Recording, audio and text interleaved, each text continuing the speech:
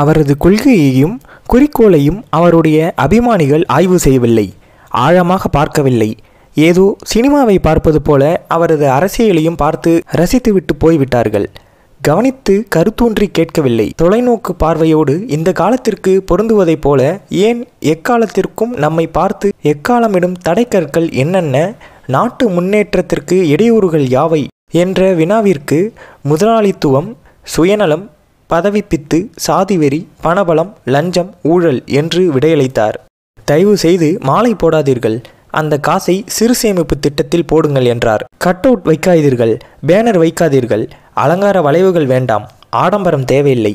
விவசாயிகளின் கவலையை போக்குங்கள் நெசவாளரின் துயரை துடையுங்கள் என்று மனசாட்சியோடு பேசினார்.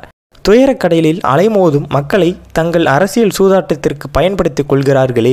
தொண்டர்களை பலியிட்டு அதன் மீது தன் தலைமை கொடியை பறக்க விடாத அன்புள்ளம் படைத்தவர் அண்ணா என்றார். இதைவிட பெரிய ஆச்சரியம் என்னவென்றால் சமத்துவ சமுதாயம் காண வேண்டுமானால் அதற்கு விகிதாச்சார தேர்தல் முறை வேண்டுமென்றார். நகரங்களுக்கு முக்கியத்துவம் கொடுப்பது கிராமங்களை கண்டு கொள்ளாமல் இருப்பது நிர்வாகத்தின் அலங்கோலத்தை அவலட்சணத்தை எடுத்துக்காட்டும். அரசு ஊழியர்களுக்கும் தொழிலாளர்களுக்கும் பணி பாதுகாப்பு விடுமுறை போனஸ் இருக்கிறது.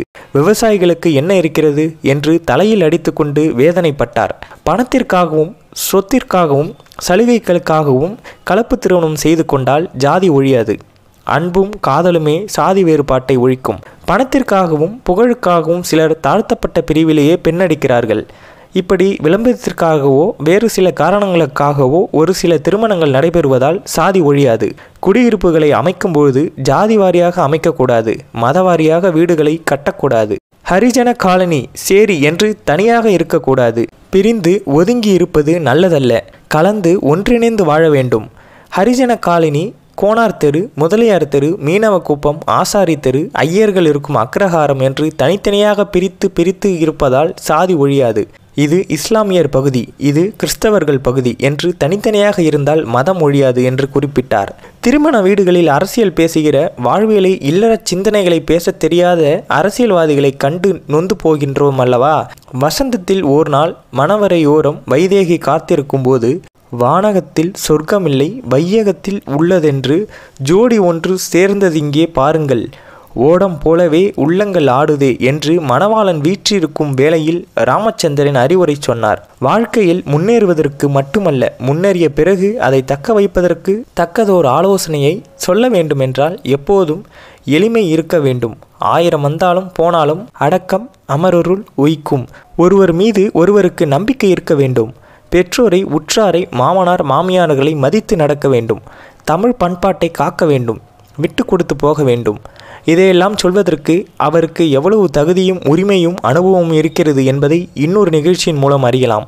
உங்களை இப்படியெல்லாம் தாக்குகிறார்களே எதிர்க்கிறார்களே இதை எப்படி நீங்கள் பொறுத்து கொண்டிருக்கிறீர்கள் என்று ஒரு அரசியல் நண்பர் கேட்டபொழுது இன்றைக்கு நான் பதவியில் இருக்கிறேன் பணம் சம்பாதித்திருக்கிறேன் புகழ் பெற்றிருக்கிறேன் ஆகவே இதை பொறுக்காத சிலர் தாக்கலாம் எதிர்க்கலாம். இதை புரிந்து கொள்ள முடிகிறது.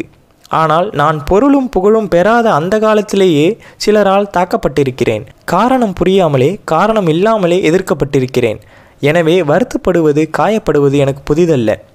உலகமறியாத காலத்திலேயே நான் எவ்வளவு துன்ப துயரங்களை தாங்கியிருக்கிறேன்? மார்க்சியம் இன்றைய காலகட்டத்திற்கு பொருந்துமா என்று ஒரு அறிவாளி எம்ஜிஆரை மடக்க வேண்டும் என்று நினைத்து கொண்டு கேட்க திருக்குறளில் மன்னனுக்கு சொன்ன இலக்கணம் சங்க இலக்கியத்தில் நீதி நூல்களில் அரசர்களுக்கு வழங்கப்பட்ட அறிவுரைகள் நெறிமுறைகள் இன்றைய ஜனநாயக காலகட்டத்திற்கு பொருந்துமா? இன்று மன்னர்கள் இருக்கிறார்களா? என்று விதண்டாவாதம் புரிவதை விட இன்று பிரதமராக இருக்கிற முதலமைச்சராக இருக்கிற மந்திரிகளாக இருக்கிற உயர் அதிகாரிகளாக இருக்கிறவர்கள் திருக்குறள் தீட்டித் தந்த அரசியல் கருத்துக்களை ஏற்று பின்பற்றினால் இன்றும் திருக்குறளும் சங்க இலக்கியமும் இருப்பதாகத்தானே பொருள். சங்க தமிழும் திருக்குறளும் சிலப்பதிகார கோட்பாடுகளும் இன்றைக்கும் பொருந்துவதைப் போல மார்க்சிய தத்துவத்தை இன்றைய காலகட்டத்திற்கு ஏற்ப நாம் தான் பொருத்தி பார்க்க வேண்டுமே தவிர மார்க்சியத்தின் மீது எந்த தவறும் இல்லை என்றார். சாதி என்ற வார்த்தையை அகராதியிலிருந்தே எடுக்க வேண்டும். கலப்பு திருமணம் என்கிற சொல்லே இல்லாத சமுதாயம் உருவாக வேண்டும். என்னுடைய சொத்து அடைமானத்தில் இருக்கிறது.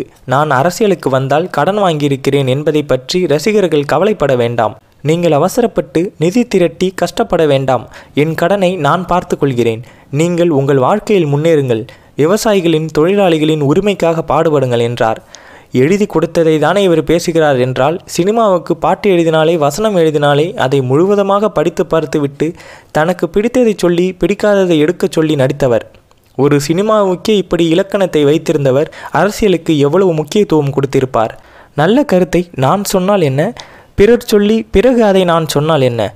நல்ல கருத்து பரவிட வேண்டும். நன்மைகள் நடைபெற வேண்டும். அவ்வளவுதானே? இதோ அந்த மருதூர் கோபால ராமச்சந்திரனின் மதுரமான இசைமயமான வெண்கல குரல்.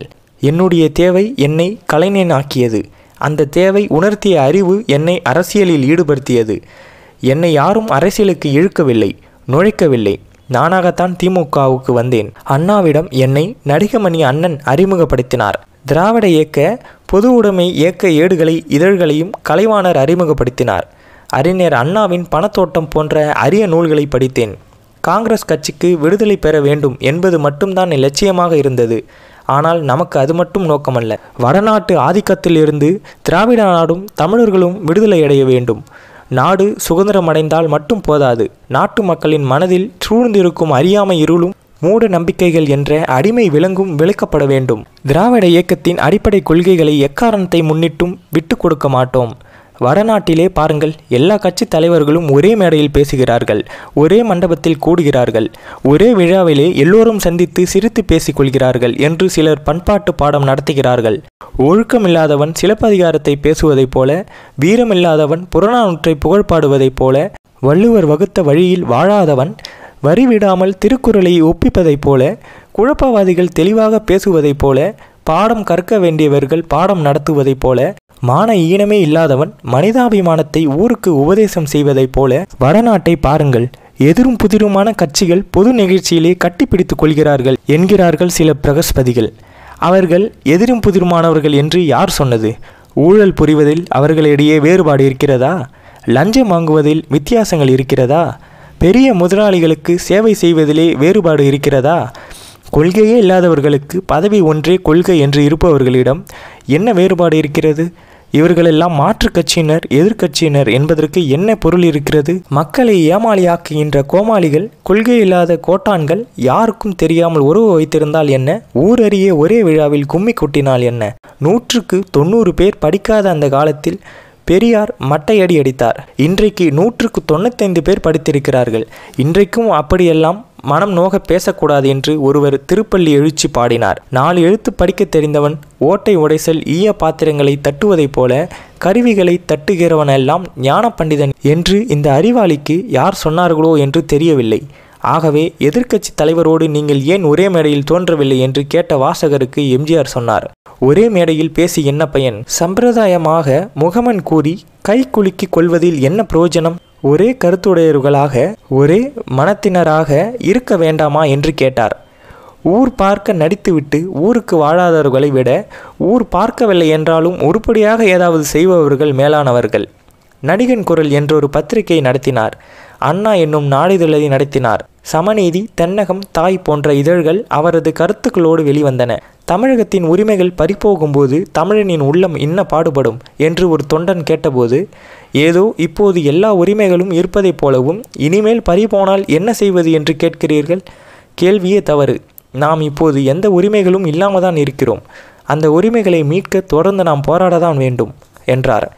ஆயிரத்தி தொள்ளாயிரத்தி எழுபது மற்றும் எழுபத்தி ரெண்டாம் ஆண்டுகளில் ஏடுகளுக்கு அளித்த நேர்காணல்களில் அரசியலில் உயர்ந்த பதவிக்கு வந்தால் பலரின் பகைமையை சம்பாதிக்க நேரும். கலையொலிகளையே தொடரத்தான் விரும்புகிறேன் என்றார். ஆனால் அரசியல் அவரை விடவில்லை. அப்போது ஒரு வெற்றிடம் ஏற்பட்டது என்பது சிந்திக்க தெரியாதவர்களின் உள்ளத்தில் ஏற்பட்ட வெற்றிடம்தானே தவிர அரசியலில் எந்த வெற்றிடமும் உருவாகவில்லை. காங்கிரஸில் நல்ல தலைவர்கள் இருந்தார்கள். காங்கிரஸ் உடைந்து வலிமை குன்றி இருந்தது கம்யூனிஸ்ட் கட்சியிலே மிகச்சிறந்த தலைவர்கள் இருந்தார்கள். ஆனால் இந்தியர்கள் குறிப்பாக தமிழர்கள் வறுமை ஒழிய வேண்டும் வாழ்க்கை செழிப்படைய வேண்டும் என்பதிலேயே இரண்டு கருத்துக்கு இடமில்லை.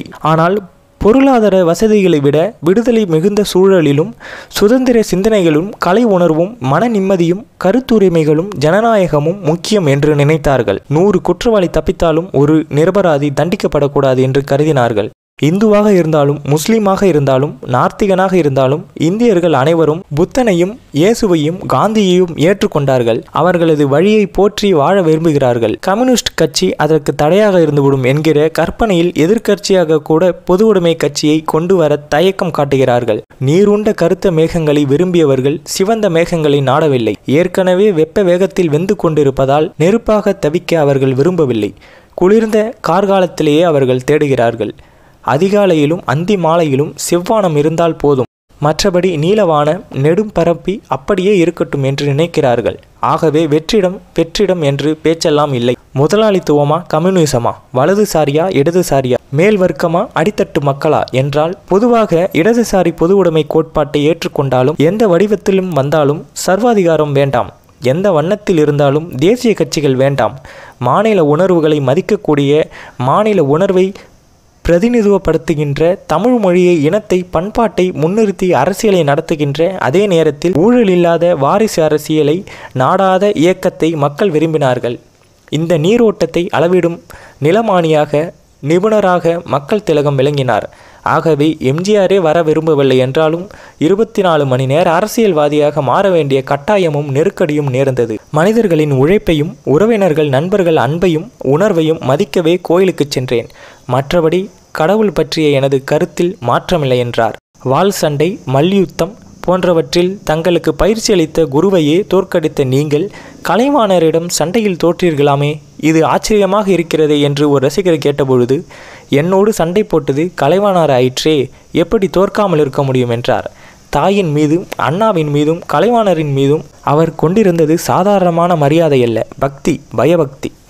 உங்களுக்கு பிடித்த இலக்கியம் எது? என்று சுவையான கேள்விக்கு நான் ஆழமாக தீவிரமாக இலக்கியம் படித்தவன் அல்ல என்று அடக்கத்தோடு குறிப்பிட்டார். ஆனால் புரட்சித் தலைவர் அவையடக்கத்திற்காக அப்படி சொன்னாரே தவிர இலக்கியத்திலும் வரலாற்றிலும் நல்ல பயிற்சி அவருக்கு இருந்தது. அண்ணா நாவலர் கவிஞர் கண்ணதாசன் லட்சுமணதாஸ் கவிஞர் வாலி புலவர் புலமை பித்தன் முத்துக்கூத்தன் டாக்டர் மூவா தே. போ. மீனாட்சி சுந்தரனார் சிலம்பு செல்வர் மாப்போசி வலம்புரி ஜான் ஆரூர் தாஸ் லட்சுமணன் வியட்நாம் வீடு சுந்தரம் காளிமுத்து போன்ற பாவர்களோடும் பேராசிரியர்களோடும் பல மணி நேரம் உரையாடியவர். கிருபானந்த வாரியார் அகிலன் திருக்குறள் முனுசாமி போன்ற தமிழ் பெரியார்களின் பற்பல உரைகளை செவிசாய்த்து கேட்டவர் எம்ஜிஆர். உங்களை பார்த்து இசையறிஞர் எம் எஸ் விஸ்வநாதன் மயங்கினாரா? இல்லை அவரது இசையில் நீங்கள் மயங்கினீர்களா? என்கிற சிக்கலான கேள்விக்கு நாங்கள் இருவருமே கலைக்கு மயங்கிறவர்கள் என்று பாராட்டத்தக்க வகையில் பதிலளித்தார். அதே போல உங்களால் கழகம் வளர்ந்ததா? இல்லை கழகத்தால் நீங்கள் வளர்ந்தீர்களா? என்ற பட்டிமன்ற பாணி கேள்விக்கு திமுகவால் கொள்கை வளர்ந்தது. அந்த கொள்கையால் அந்த கொள்கை வளர்த்த கலையால் நான் வளர்ந்தேன் என்று சொன்னார். கலை உலகில் உங்களோடு நடித்தவர் உங்கள் ஆரோயர் நண்பர் தேர்தலில் நிற்கிறார். அதே தொகுதியில் உங்களை கழகம் நிறுத்துகிறது. நண்பருக்காக விலகி விடுவீர்களா? கட்சி கட்டுப்பாட்டை ஏற்று நடப்பீர்களா? என்று ஒரு நண்பர் கிடுக்குப்பொடி போடுகிறார். அதிலிருந்து எம்ஜிஆர் எப்படி லாபகமாக பின்வாங்கி அடித்து முன்னேறுகிறார் என்று பாருங்கள். நிற்பது நானா? எனது நண்பரா? என்பது பிரச்சனை இல்லை. கழகத்தின் கொள்கைகளுக்கு பிரதிநிதியாக நான் நிற்கிறேன். மாற்று கட்சியினர் நோக்கங்களுக்கு பிரதிநிதியாக எனது நண்பர் நிற்கிறார். போட்டி எனக்கும் அவருக்கும் அல்ல. என் கட்சியின் கொள்கைக்கும் அவருடைய கட்சி கொள்கைக்கும் தான் போட்டி. முதலாளித்துவ கோட்பாட்டை முன்னிறுத்துவது யார்? சமத்துவ சமுதாயத்தின் பிரதிநிதி யார்? என்பதை தான் மக்கள் முடிவு செய்ய வேண்டுமே தவிர தனிப்பட்ட முறையில் அவருக்கும் எனக்கும் பகைமை இல்லை. ஆகவே தேர்தலிலிருந்து விலகுவது என்று பேச்சிற்கே இடமில்லை என்றார்.